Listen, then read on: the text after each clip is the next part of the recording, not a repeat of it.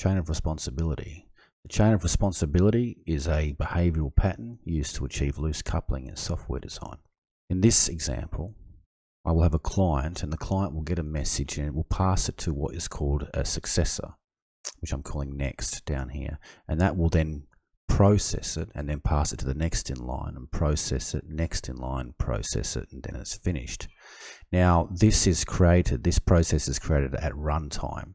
And the logic within the process here has the option to change or to process the information recursively. So I could go back to next one process, next one process, and then go to next two if you wanted to, or just go next one straight to next three.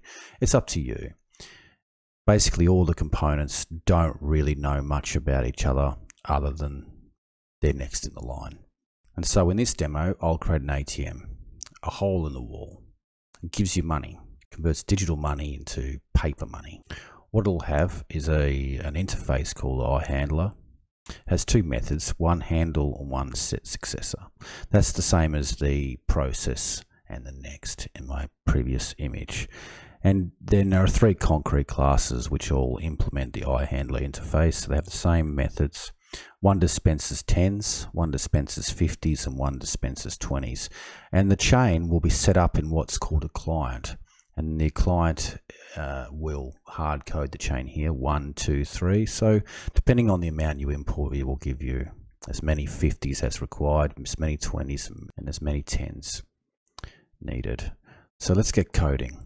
Okay, so I've created a file called atm.py.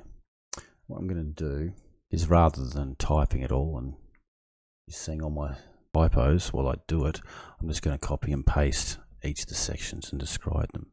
So I'm importing ABC meta, an abstract static method, which I often do when I'm making interfaces.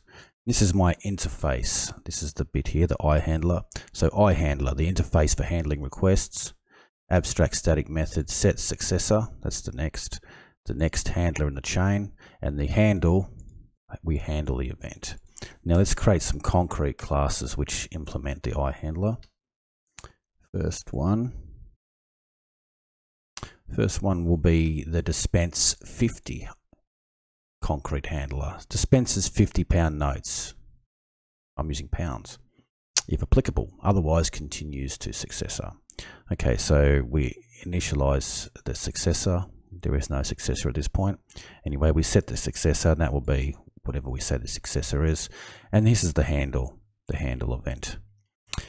If amount is greater than equal to 50, we do a floor division on the on the on the amount to see how many 50 pound notes we'll need, and with the remainder, we'll pass the remainder to the to the next successor in line. I mean, if the amount was less than 50, it would just go straight to the to the next successor, which would be the dispenser 20, which is it's almost identical function as the dispenser 50. The only difference is, is it it looks at 20s, and then depending if there's a remainder, it will take it to the next in line, and that would be the dispenser 10. It's exactly the same except it uses 10 pound notes. 10 10 10 and 10 down there. Now so we've just done the handler and the concrete classes which implement the handler. Next do the ATM dispenser chain. This is the client and this is where the chain is hard coded as soon as we start up. So here we go. This is a class called ATM dispenser chain the chain client here I initialize the three dispensers 50 20 10 and then I next I set their order. So chain 1 set the successor as chain 2 chain 2 set the successor as chain 3 so there we go. That will then follow the pattern as outlined in this image. So the client next process 1 next process 2 next process 3 finished. Excellent. Now let's uh, test that out if name equals main let's uh, create an ATM ATM equals ATM dispenser chain and the uh, amount we'll get from the console amount equals integer input enter enter an amount uh, to withdraw. Okay. Uh, yes, and uh, if the uh, amount is less than 10 or amount mod 10 is not e equal to uh, equal to 0 uh, we'll print uh, enter um, an amount enter a positive amount uh, and in multiple of tens. Okay. So and then we'll just exit there. Else uh, ATM dot uh, chain one dot handle the amount. And this is where the chain starts. And then at the end we will just print go spoil yourself. Now go spoil yourself. Now go spoil yourself. Excellent.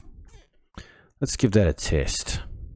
So python atm.py enter an amount to withdraw 130 dispensing 250s 120 and 110. Now go spoil yourself. That's excellent. What happens if I do something wrong, like an 11? Enter a positive amount and a multiple of tens. Okay, let's uh, try negative number, minus 10. Enter a positive. Okay, uh, 1, 1, 1, 1, 1, 1, 0. Let's see what that does. That is that many 50 pound notes dispensing one note 10 note and now go spoil yourself. Thanks for watching. Remember to like, comment, subscribe and share.